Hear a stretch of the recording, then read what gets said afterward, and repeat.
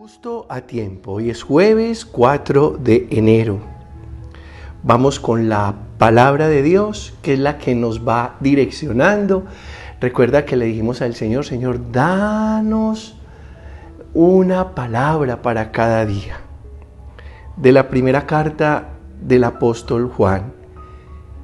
Hijos míos, que nadie os engañe. Quien obra la justicia es justo, como Él es justo quien comete el pecado es el diablo, pues el diablo peca desde el principio. El Hijo de Dios se manifestó para deshacer las obras del diablo. Todo el que ha nacido de Dios no comete pecado porque su germen permanece en él y no puede pecar porque ha nacido de Dios. En esto se conocen los hijos de Dios y los hijos del diablo. Todo el que no obra la justicia no es de Dios, ni tampoco el que no ama a su hermano. Palabra de Dios. Te alabamos, Señor, y quedémonos con obrar la justicia, amar al hermano, que sea el compromiso de este cuarto día del año. Ser justos, ser justos, justo a tiempo. Bueno, es un compromiso muy grande que me hayan puesto ese nombre, justo, pero bueno. Y claro, que seamos justos en nuestros asuntos que no hagamos trampa, que no nos aprovechemos de nadie, que no explotemos a nadie, que busquemos la medida adecuada para cada cosa. Los confines de la tierra han contemplado la victoria de nuestro Dios. Cantad al Señor un cántico nuevo, porque ha hecho maravillas, su diestra le ha dado la victoria, su santo brazo. Retumbe el mar y cuanto contiene la tierra y cuantos la habitan, aplaudan los ríos, aclamen los montes. Al Señor que llega para regir la tierra, regirá el orbe con justicia y los pueblos con rectitud. Regirá el orbe con justicia. Entonces, eh, estar mirando todo el tiempo cómo obra Dios, que Él obra rectamente, que Él es justo, para que nosotros también obremos Mm, de esa manera y seamos rectos y justos. Y que, que amemos al hermano, que amemos al prójimo, que no hayan odios ni egoísmo, que no aborrezcamos a nadie. Amemos a los demás. Y amar es hacerle el bien a muchos, siempre que nos lo pidan y siempre que nos necesiten y si no interferimos en el proceso que cada uno tiene que hacer en la vida y si sabemos hacer ese bien y si podemos hacer ese bien. Del Evangelio de Juan en el capítulo 1.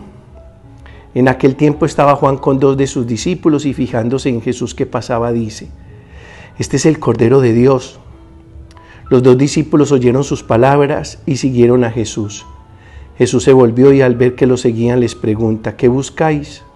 Ellos le contestan, rabí, ¿dónde vives? Él les dijo, venid y lo veréis. Entonces fueron, vieron dónde vivía y se quedaron con él aquel día. Serían las cuatro de la tarde. Andrés, hermano de Simón Pedro, era uno de los dos que oyeron a Juan y siguieron a Jesús.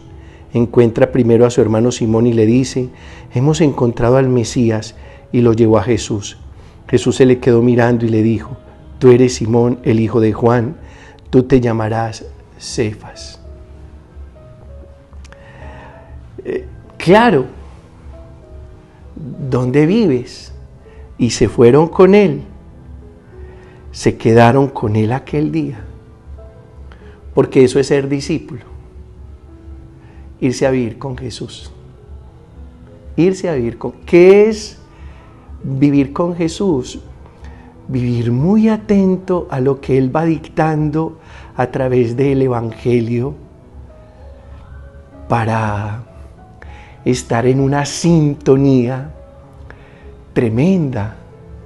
Cuando uno sintoniza bien un radio, pues oye muy bien lo que el radio está emitiendo. Cuando no lo sintoniza bien, es un ruido y se distorsiona ese sonido. Entonces, sintonía en este mm, día eh, cuarto del año Sintonía, sintonía. Vamos a sintonizar ¿Y cómo sintonizar con Jesús? Nos tenemos que ir a vivir con Él. Los discípulos se fueron a vivir con Él, vivían con Él, dormían con Él, comían con Él, caminaban con Él. Eran testigos de todo lo que pasaba con Jesús. Bueno, por eso esto de ser discípulo es tan interesante, porque es vivir con Jesús. Tal vez muchas personas simpatizan con Jesús, van a la Eucaristía de vez en cuando, hacen una oracióncita cortica, eventualmente cuando tienen una necesidad, se están perdiendo, se están perdiendo lo maravilloso que es ser discípulo de Jesús, irse a vivir con Él para poder sintonizar, para que se nos peguen todas las cosas de Jesús, su estilo, su manera, su pensar, su obrar, su actuar, su relación con el Padre, su fidelidad, su amor por el ser humano, eh, su obediencia al Dios eterno. Tantas cosas. Sintonizar, sintonizar.